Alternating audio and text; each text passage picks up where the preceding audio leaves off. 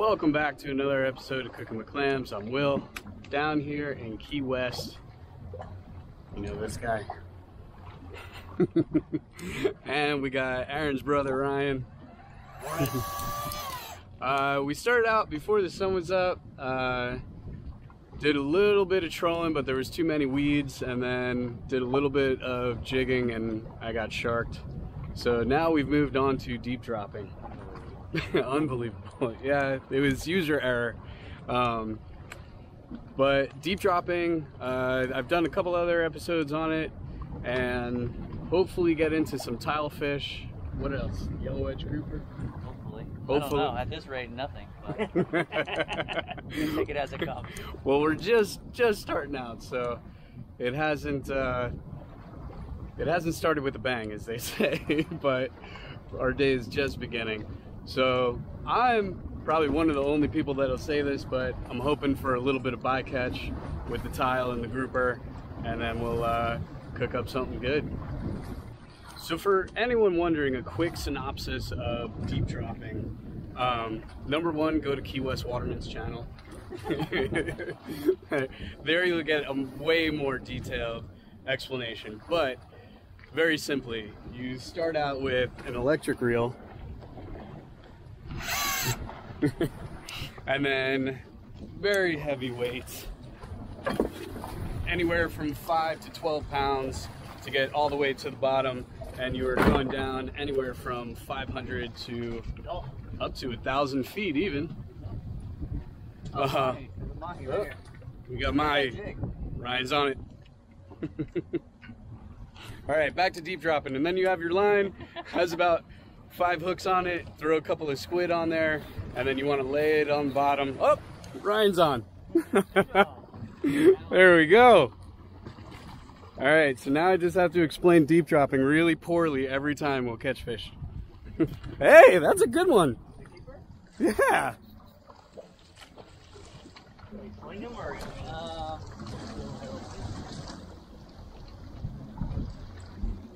I need 50 pound fluoro. Oh, one right behind.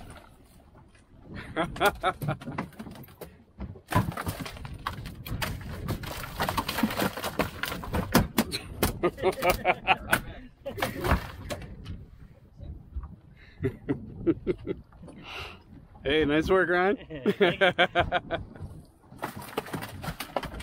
be able to make a sandwich.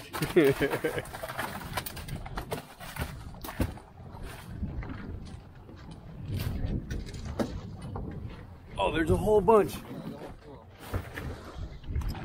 Hey, they're biting the lure, but it's all wrapped up. I don't want to catch. Oh, no.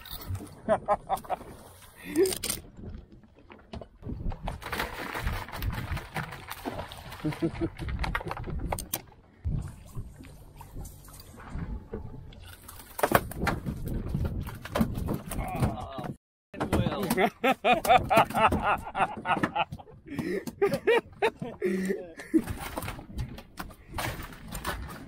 You I don't mind it. Hate these things. Where do they gotta be? 20?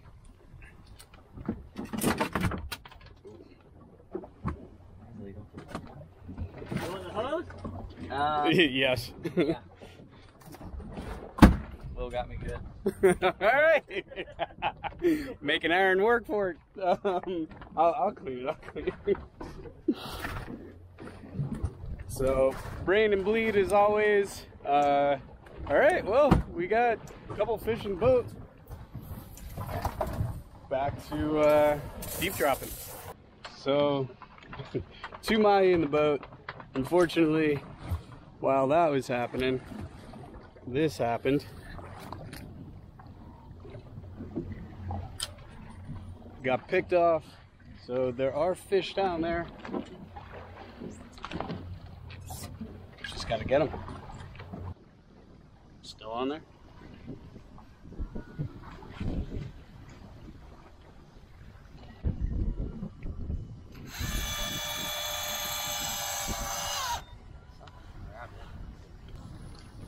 So, deep dropping might not seem that exciting to you because you're using an electric reel and a lot of watching the tip of the rod and the bite is really just that.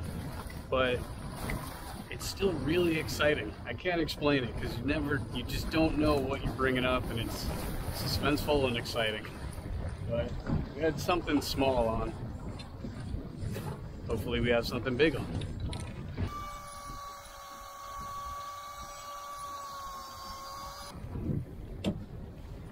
Ooh, some. Oh no, it's air bubbles. Big tile.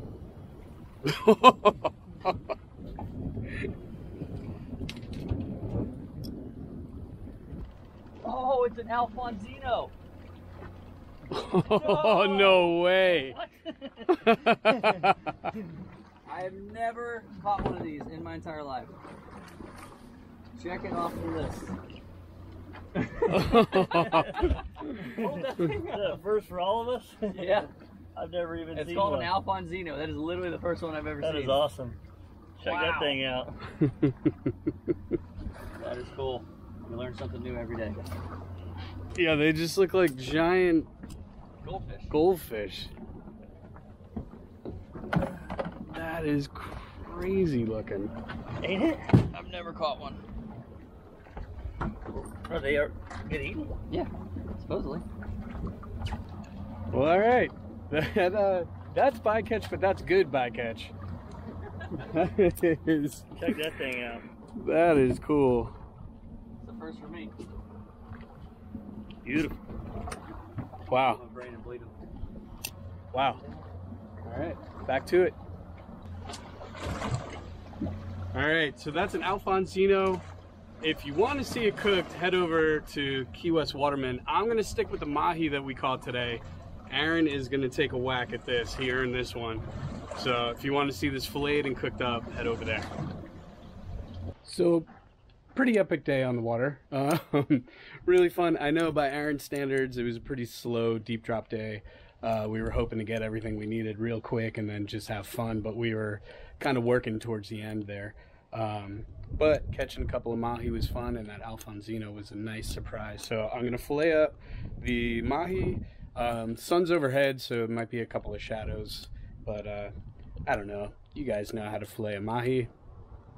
I'm not teaching you anything new here. Let's go.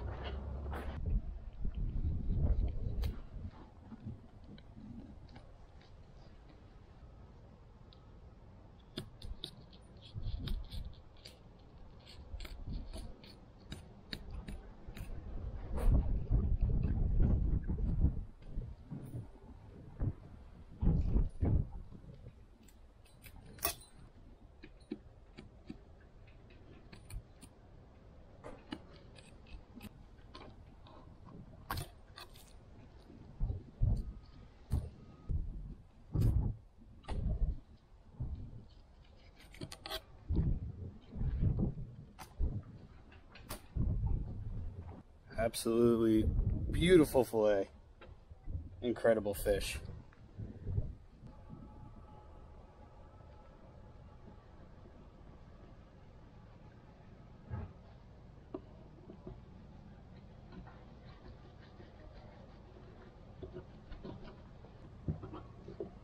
Oh, flubbed it.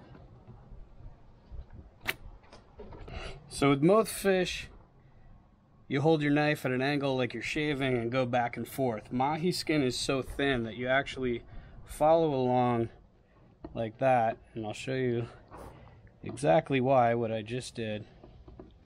I angled the knife a little too much. But if you keep it more flat on the table, get the skin off. But if you angle it with a sharp knife, this is what happens. So we will continue to cut that off. I think you guys will forgive me. I haven't caught a mahi in a long time. And something else that's easy to do that I didn't do is to cut that fillet in half down the center to make it easier. So you're only filleting the skin off from that side to that side instead of trying to go down the entire length of the fish.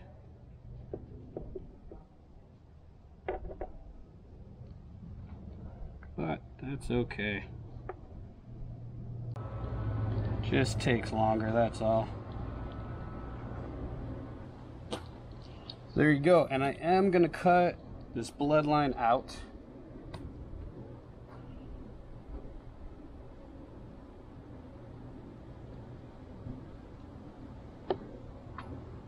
And what that leaves me with is a perfect loin to cube up to make our skewers. And that's it.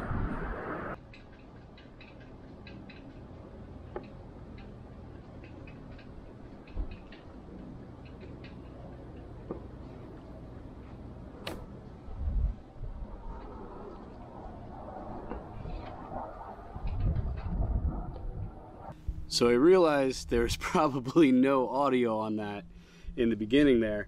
Um, basically, just run you through really quick. Uh, we did, I'll talk over it, we'll dub my voice over uh, what was happening. So we cut the fish into large chunks uh, because we're gonna put them on the skewer. The little tails I took off because um, they're gonna cook too quickly. So those will go to our two cats and our dog upstairs. And then we're just making a marinade. So, so far in the marinade, I have soy sauce, hoisin sauce, uh, a little bit of honey, and a little bit of sambal uh, chili paste. So now that we're all caught up and we actually have audio, um, let's get back to it. So we did salt, now we'll do pepper. And now I have garlic clove. So we'll shred that. And some ginger.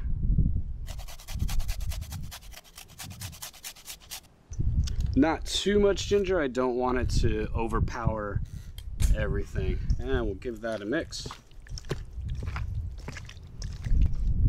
Okay, now I'm gonna set this aside and put it in the fridge for about 20 minutes. Okay, and now for our other skewers, again, really, really simple.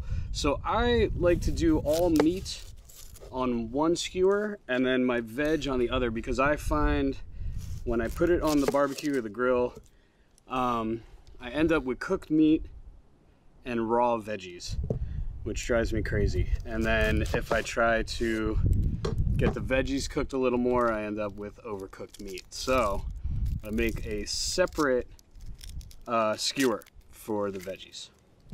So I just have here red onion.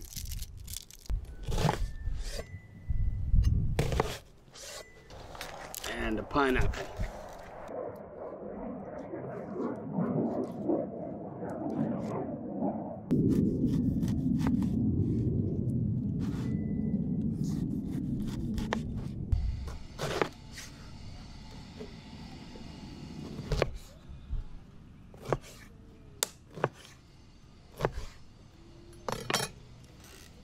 Then as far as these go, I'm not gonna bore you with making a bunch of them, but we're just gonna alternate a piece of pineapple and some red onion. And this way I can leave these on longer and everything will caramelize and cook down. And I can put them aside and finish cooking my, uh, my mahi. There you go.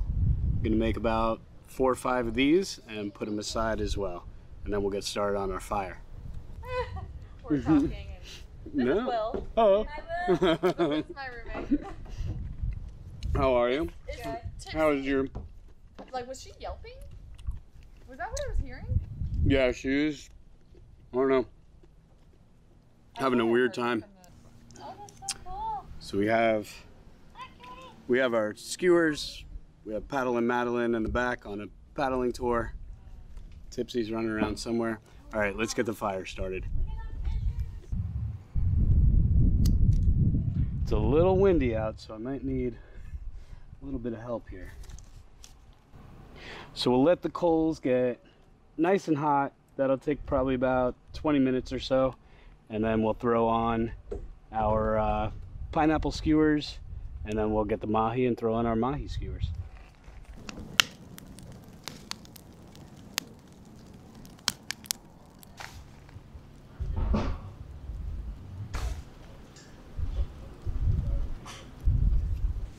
Now, just because we do have a lot of wind out here today, I'm gonna actually cover them up to try to trap some of that heat inside there.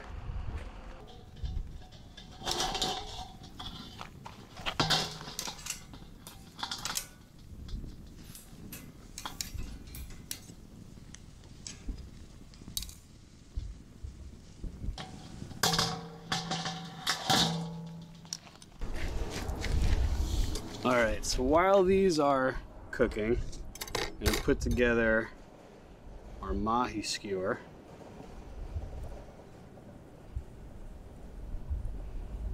And like I said, nothing else on here, just the fish, so that we're not worried about any other cook times.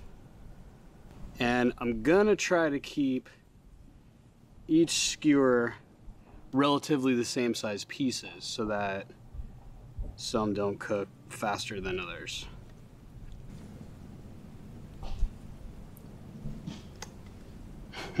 We're loading them up here.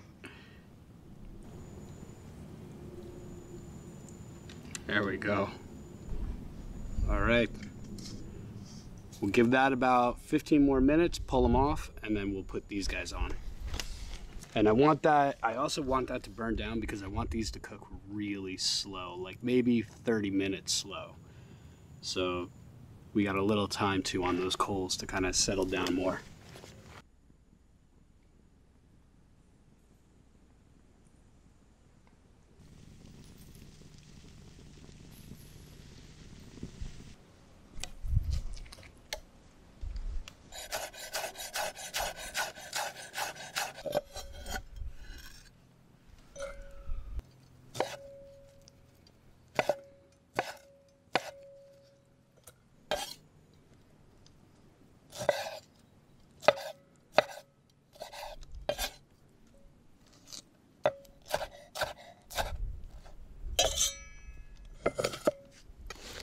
Little bit of cayenne pepper, some garlic salt, one lime,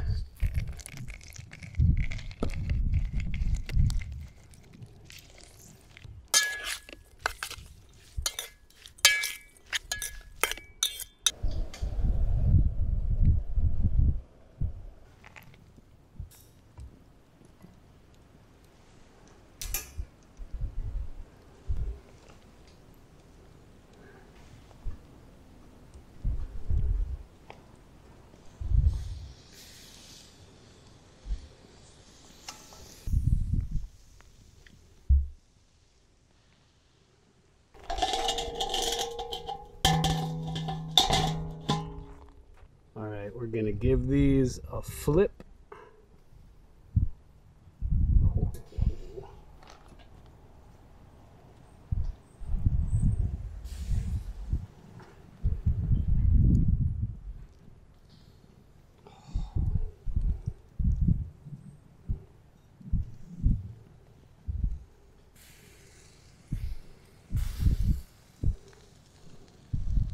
There we go, gorgeous.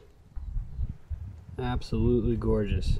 And I'm gonna finish them without the uh, lid on top. I'm just gonna let them slowly cook like that. And we are going to run upstairs and make some coconut rice. Well, not coconut rice, but you'll see. All right, before we add water, always rinse your rice. So we're gonna rinse this real quick.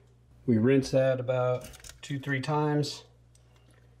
And now, instead of water, we're gonna use coconut water. And before anyone says, why didn't you use a real coconut? I was in a rush and I got this.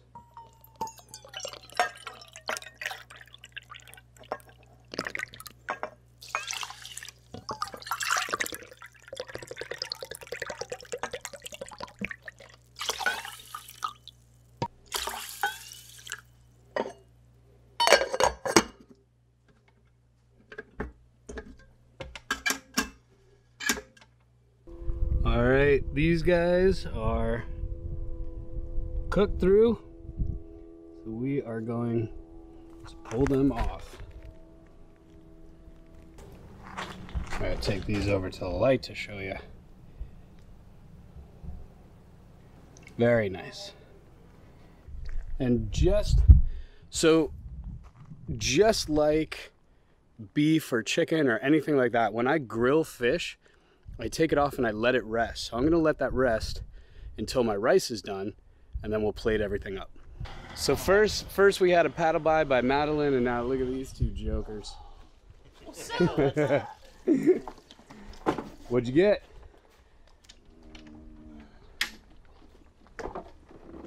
Well, well, well. Oh man. We forgot ice. All right. I found the mother lode though.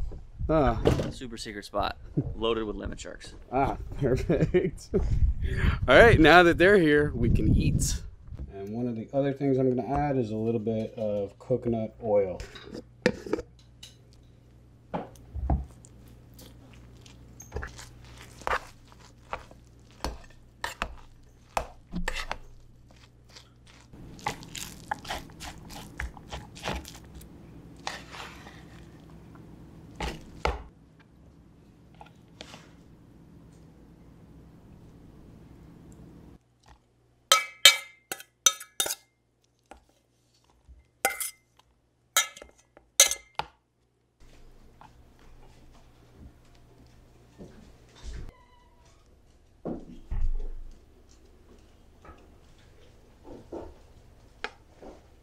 All right, so we're all in random rooms of the house, so I'm going to hand them off as I walk through here.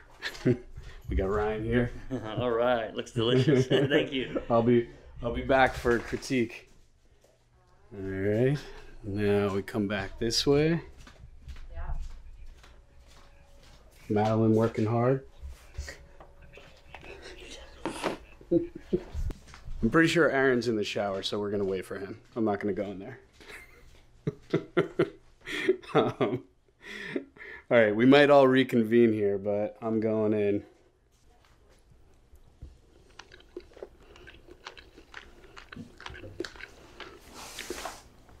Whoa. There are so many different flavors in there, but somehow they go together. I don't know how, but they do. It's pretty good. What's your take? Very good. Come cook for me anytime. See, I got it easy. these these guys are out spearfishing. When you get back in, I could have boiled a shoe and they would have eaten it. but all right, we'll wait for Madeline and Aaron, and we'll be back here in a second. The what? The rice. Oh, the rice is good. It's super coconutty. right? And there's no. I'm gonna get a little bit of everything here.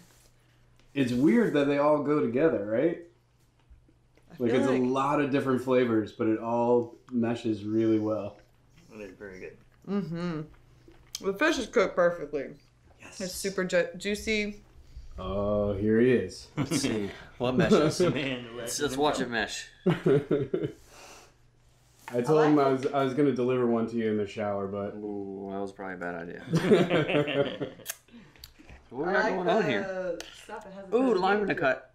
oh, Lime in a cut. That was not good. this pineapple? you got pineapple red onion salsa that's smoked, Oh. coconut rice, Just and wait. then honey chili mahi. Oh my goodness. See that? Got to shoot a bunch of mangroves and then you come back to a meal. Then you have to fillet 'em, yeah. That is unbelievable. Very good. It's like the most tropical little. yeah, it's very Key. West. Yeah. Smoky, tropical, citrusy. Oh my goodness. I can dig The it. coconut rice.